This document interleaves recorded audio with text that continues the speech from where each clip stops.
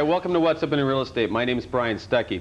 We've got a great show for you. This is last time that we're going to have realtors on before the new year, and we want to get their forecast and you see what today's market's like. This is a real estate show, so of course we want to have our uh, realtors on the program. Marnie Carlson's here with us. She's with Tempo Properties in Campbell. Jim Hemphill from Alain Pinel in Saratoga, and Sandy Wihtol, who's with Campi Properties in Los Altos. Um, guys, we're just going to have a general program, and we're just going to talk about today's market. That's that's the whole emphasis today. And, and Marnie, why don't I start with you? And how do you see today's market, real estate market today? Are we are things down? Are they up? Um, this has been the busiest year I've seen. I've been in the real estate field for about 10 years. Mm -hmm. I've never had multiple offers in the last five years. So it's been an incredible year for me. Mm -hmm. um, buyers are have been very aggressive, which has been different, and sellers have uh, had a little bit more of the negotiating power, where before it was really in the buyer's hands. Mm -hmm. When you say buyers are more aggressive, uh, um, they're more willing to meet uh, the selling, the asking price, mm -hmm. than I've seen before, and even going above the asking price. Okay, Jim, what's it look like in Saratoga? You know, well, it's, it's been a, a great year and, and also in the high-end market uh, has been very, very active. Um, the problem is that the inventory out there, uh, we had such a, a, great first half of 96 uh, that there's very few homes uh, uh, for buyers to choose from right now and those buyers that are smart not looking at a time when there aren't too many buyers that can find something are, are doing real well. Mm -hmm. What, what is causing the lack of inventory, do you think?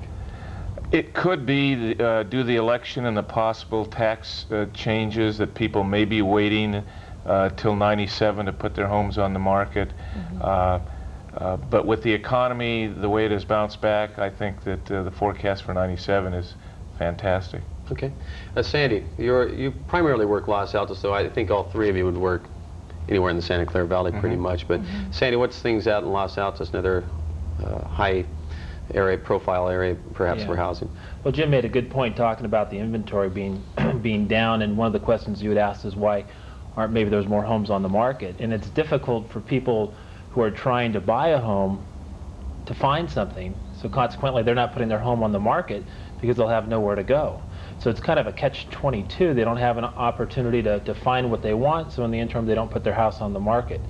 Fortunately, in the area with people involved with the high-tech industry, a lot of people have the ability to wait, to find the home they want, make the offer, and then they'll put their home on the market. But that's probably one of the one of the main factors for not having as much property. But it's a uh, it's uh, it's a pretty it's a good seller's market right now. Okay, if you have people in existing homes right now who aren't putting their houses on the market, what's the forecast looking for new housing developments? Uh, what's your feel on that? Is there new developments proposed that are going to be coming out? Does anybody have a feel on that, or? Well, you know, that's all, it was all orchards for so long in this area, and, and there's, in fact, I tell people all the time, I grew up in the country and had the city moved to me in Mountain View, and that's essentially what it was. But there, there just aren't the developments anymore to, for a lot of homes. It's, it's spot individual houses that might go up or remodels, things like that. Mm -hmm. Sounds. Um, one of the things I do with a lot of my sellers, because they're worried about selling their home before they find a property is to reassure them of, of working with a rent back. Um, a lot of rent backs are going on. I've, I've done numerous clients this year where we they incur an offer on their home and then we do a rent back up to 90, even 120 days while we're while I'm pounding the pavement and trying to find the right home for them. Mm -hmm. So that helps in the market. I think Marnie's right, and I think the fact that you can take the stress off of selling your home when you don't have to sell it. When you put your house on the market, get it fully prepped, ready to go, and you can sit back. And in this coming spring, it, which is going to, I think, be a gangbusters, a, a seller's market, when you can get your home ready, put it on, uh, and sit back and, and hold firm on your price, that, that's one of the things we saw happen in, in the spring of 96. And I think it's going to happen to even a, a greater uh, degree in 97 uh, then you know, the worst thing in the world could be put your things in storage and rent for a short time. But I think the, the difference in the money you make by being able to, to not be pressured into taking a, a lower price will more than pay for itself. Okay. -hmm. um, combined with the forecast, and you think it's going to be a great spring, as you mentioned, Jim. Um, if someone's considering doing a, some home improvements or doing some, doing some general improvements to the house, would you recommend that? If they're, if they're thinking that things are going to be improved during the spring, maybe they're thinking is that during the holidays that it's not a strong point time to sell, which we're going to uh, talk about in a moment. But let's say they're, they're thinking that spring's going to be the best time. Would you encourage people to do home improvements at that time, make the investment on that? Very, very definitely. Uh, you know, landscaping, kitchens, uh, bathrooms, some of the high uh, visible areas are extremely important that look very, very sharp. Uh, that's really going to bring bring your price in the spring. And I think in addition to that too is you can't you can't assume anything because if you come on the market the wrong way, just figuring that it's a strong market, you're going to get your price, and then you don't, and you're 30 days down the road, you're going to pay three times fold what it would have cost you to improve the house, and along with the stress of waiting for it to sell. But you've got to come on the market the right way, and those improvements uh, will definitely pay for themselves. hmm Wouldn't you recommend talking to a realtor? Very definitely. about those things, sure. Um, realtors would definitely have a, a, an idea what the market's looking like, the fluctuations and everything else. It'd be highly recommended. Um, do you see their phone numbers on the bottom? You may want to take them down, their phone, their phone number and their name. Uh, Marnie, I wanted to ask about the holiday season. It's, it's Christmas. We just got over Thanksgiving. How does this typically affect purchase, uh, the purchase market?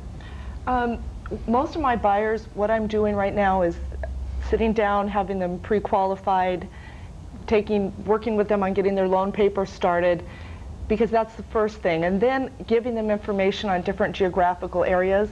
And I'm pulling up listings. It's, it's the market definitely does not have a lot of homes listed currently, so I'm trying to prepare people to, to just get information so that they're prepared when we do find the right house. Mm-hmm. Um, I think a lot of people are waiting to get through the Christmas holiday and they don't want to deal with having buyers coming in and looking at their home. And the general sellers are feeling really positive that they're going to get a good price next year. So mm-hmm. they're waiting. I mm-hmm. think that's exactly what Jim had said. It's going to be a strong when we get to the fall, or excuse me, the spring next year.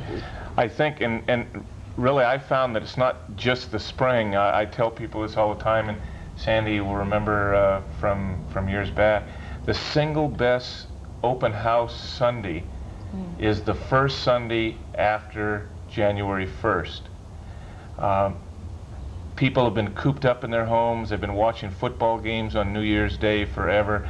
The the wives say, "Okay, uh, hubby, let's go and go and, and get out and look at a couple of homes."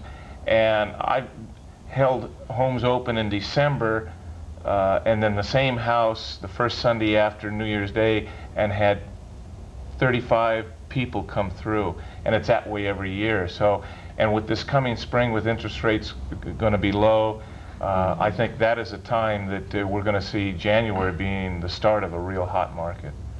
You had asked a question earlier about how's the market in December, and for those of you that might be thinking about selling your home come this next season or at some point after the school year, one of the things about November and December during during the uh, the calendar year is that the real buyers are out there. The people that really want to buy a home are going to be out there, and so a lot of times people think because of the holidays it's not going to have the activity. But quite a, actually, the looky-loos are out shopping at, at Macy's, and the people that are looking to buy homes are going to be out there. Plus, as a seller, you don't have as much competition.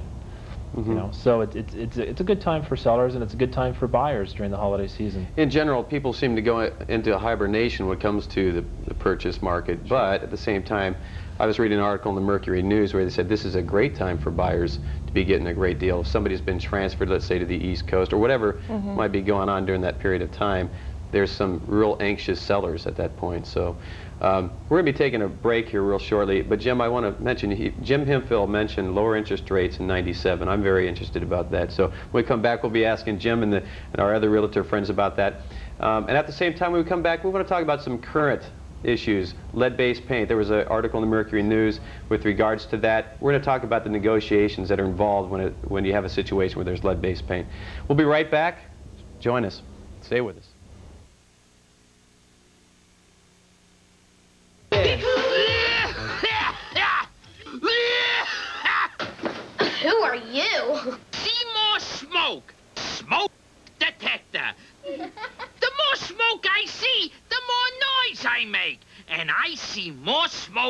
Coming from that toaster. Thanks for warning us, Seymour. That's my job. I hate smoke. It's disgusting. It gives me a headache. So whenever I see it or smell it, I make this noise to warn you. Because where there's smoke, there may be fire. Good tip, Seymour. How many smoke detectors do you have in your home? Count them. Is there one outside your bedroom? There should be. Tell your parents. Be cool about fire safety. Be cool. Hi, welcome back to What's Up in Real Estate. Um, my guests, Marnie Carlson, Jim Hemphill, and Sandy Wihtol. And we're going to talk about lead-based paint issues. More probably because there was an article that that came out from the Mercury News says get the lead out. And uh, I think that stirred up a lot of questions that people had for us as far as in the mortgage industry, but I know that the realtors being on the front lines as well have to deal with this issue. Definitely disclosure in a real estate contract. So I, I just want to ask, Marnie, let me ask you first. Actually, I want to hold you off last. I know you got a story with it, but Sandy and Jim, what's uh, with the issue of lead-based paint, does that come up quite a bit with the idea that uh, children are exposed to it? What kind of concerns or what kind of issues do you have to deal with in a situation like that with the disclosure? Jim? Well, we have, uh, and we, our office has been using, as probably both of the other offices as well, uh, a booklet for the past year and a half dealing with lead-based paint. Uh, so even though the date was December 6th when it went into effect, we've been doing this for quite a while. The big thing, I think, is to let the consumer, the buyer, aware of the fact that homes built prior to 1978 probably contained lead in the paint. And what the problems could occur from ingesting that lead, uh, primarily with children, such as dizziness, vomiting, etc., brain da uh, possible brain damage, uh, and what you need to do uh, to keep that under control. Uh, and uh, I think once the buyers, so far in my situation, once I've explained it to the buyers, and most of a lot of homes I've sold have been prior to 78. Uh, they have not been concerned uh, because they know how to handle it just like we had the asbestos scare a few years back. To me, it's the, the same type of situation. It's, it's uh, creating knowledge with the consumer, with the buyer. Okay. Sandy, is it, do you think it's something of, that, that people that are going to buy lead-based paint, they just really need to be educated on it, that there isn't a great concern there, or that there is a great concern? Well, I, think I've been in the industry since 1985, and Jim was talking about some of the disclosure booklets and things, and we've been using those for a, a couple of years. But the consumer protection these days, in terms of knowing what's involved with lead-based paint or asbestos or uh, construction of homes for earthquake, all those factors, um, there's just so many resources for getting things tested and, and checked out. I haven't had too many issues where it's been a problem for the buyers because they, they know that certain things have changed since 1978 in terms of methods of construction. Um, but uh, it, it's something that when people do have a concern, there's lots of resources to, that I can send them to or, or, or, refer them to that they can go and talk to the professionals about it. I haven't had it as an issue, but it has been brought up, and, and there's gr great sources these days for the consumer to go out and make sure they're educated and feel protected in what they're they're buying. Sure. Marnie, I saved you to last because I knew you had a story on a, a situation in, with regards to the base, base paint. So. Right. I have um, a listing. I actually just closed the transaction. Um, it was an older home in uh, Willow Glen, and a lot of the older homes, this was a 90-year-old home, and the paint was chipping, and so we hired a painter, and I had given her a couple people, and he was aware that it had lead-based paint. That, that, was back and when they had ur uranium-based paint, isn't it? I don't but um, he improperly chipped away the paints around the windowsills and left, you know, a lot of paint chips, and it just became a very elaborate expenditure of money. We had to have it tested, the soil tested, it was like a couple thousand to clean it up. I, the point is you need somebody who knows how to, when you have somebody come and, and work with that kind of paint, they, they need to have experience in it. And there's a lot of numbers, people you can contact. If you have children, um, there's, your doctor can test for lead base to see what the level is. It's mainly mm -hmm. the mm-hmm. dust that for children. So that's why it's very important that if it's removed, it's done properly, so it doesn't create the poisonous dust. Okay. Um, I want to go into other areas of negotiation. Um, it- and this is for the purpose of first-time home buyers more than anything else. Um, there's still a lot of people out there, especially with the high rents, they're thinking, boy, is it better to rent or to buy? And I think it's a, there's some legitimate, legitimate benefits to buying, of course, in today's market. What are some negotiating points? You always have purchase price, but what are some of the other ones, Marnie? For first-time buyers, First-time home buyers? Um, uh-huh. Well, Or just the in general? rents, I, I mean, the rents, also, a lot of my clients that are renting, not only are the rents jumping up, people that are looking to find nice rentals, it, there's not that many rentals available. The rental market's really tight. There's a lot of incentive programs, 3% down for first-time buyers. Mm-hmm. Um, and being the rates are lower, I think people can qualify where a year or two they had a harder time. There's Mm-hmm. a lot, and you're in financing, you know, the first buyer programs are very strong. And, and also with some first time buyers, I will ask the seller to give a credit towards closing cost. Mm-hmm. Um, it m- may take a lot less money to buy something than, than people have in their mind. hmm Okay. Do you have anything to add, Jim, on that? No, I think uh, Marnie's right. The I'm right now involved in negotiating with the f- on a property for a first-time home buyer, and they're putting five percent down, and they've got pre-approval already from their lender. So that's one of the key things I think for first-time home buyers that are putting five percent or less down is to let the seller know that they are pre-approved, not just mm-hmm. pre-qualified, but pre-approved. That really helps and will definitely help in the spring when we have multiple offers and they're one of the multiple offers for a seller to see, even though they're putting a little down, they're all set to go. That will really help. So for me, and I think for you too, it helps your your type of business out, the lending business, uh, to have this all done up front. Then it makes it so much easier and puts them at a, a, at a up at the front of the line in multiple offers. Okay. I, I think in addition to that too, quite often, don't be afraid to ask the seller to credit some closing costs because quite honestly, if they can get their home sold, they're they're ready to do that, and you can you can negotiate that in. And so as a buyer, you have the opportunities, you know, and don't be afraid to, to ask for it. Okay. Usually, if there's a if there is a concession, let's say in closing costs, can you expect that the, that the seller will get their list price or at least close to it? I don't know. Well, What do you in, think? in this market right now, and I, I a, a lot of buyers are running around, the first-time buyers trying to find something, and you can negotiate yourself beyond really the scope of, of what the value is there. Because if where we were in '96 and where things are going to be in '97, I tell people, I say, you know, we'll continue looking and looking however long it takes, but at some point you're going to have to get on the elevator because if you keep taking the stairs, the elevator is going to pass you up and you're going to be at a different level of housing because the market is very, very strong. It'll stay that way through '97. And uh, kind of piggybacking on what Sandy said, the what you can show a first-time home buyer is if we can get the seller to pay maybe two or three thousand dollars of closing costs that don't have to come out of your pocket, then perhaps you can buy a little bit nicer house, and maybe mm-hmm. instead of one for 230 or 240, you can buy one for 250 or 260. And as we all know, that's a big difference in 20 or 25 thousand dollars in that price range. Now you have more homes perhaps to show that first-time buyer, nicer neighborhood, etc., and they'll be a lot happier. Okay.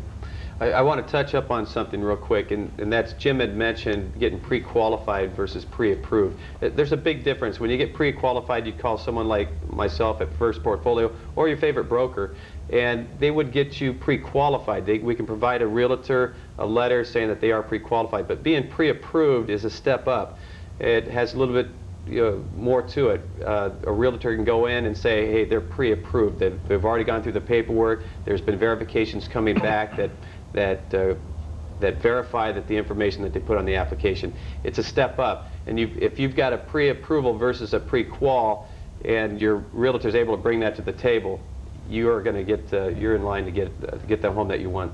And- Uh, yeah. yeah, go ahead. No, and and beyond that too, when you're in the offer presentation, if you're in there at same price with somebody else and someone's got a pre-approval versus a pre-qualification, person with the pre-approval is going to be moved right into that into that home, even if maybe they're a, a thousand a thousand dollars or less maybe in the offering price, but they have a value in the fact that they're they've been pre-approved. So that's a, a great point. Great. Sandy, real quick, I got to cut you off just about 15 seconds. 97 projections right down the line. Sandy? Oh, it's You know, we our industry here in in terms of what based our real estate market was the defense industry and electronics for a long time, and since uh, since that's gone away, we're well diversified, and I from high tech to software to communication systems, the internet, interactive TV. It's going to be a great 97 and 98 for the valley in general. I didn't pin you on interest rates, but uh, go ahead, Jim. About 10, 15. I, I, it's going to be a great year, 97, for sellers. They're going to get their price, and for buyers, they're going to have good low interest rates. Okay, Marnie. Um, I just want to encourage people that are on the fence renting that aren't sure if they can qualify that they get in touch with a lender and because there's so many people that have the income that really can support the payment but they think they don't have enough money and with creative with a creative broker they can step into that ownership as opposed to the renting. Okay. I want to thank Marnie Carlson, Jim Hemphill, and Sandy Wihtol for being our guests today. When I come back, we'll be with Greg Flowers. We'll be answering some of the questions that you've asked of us. We'll be right back. What are you eating?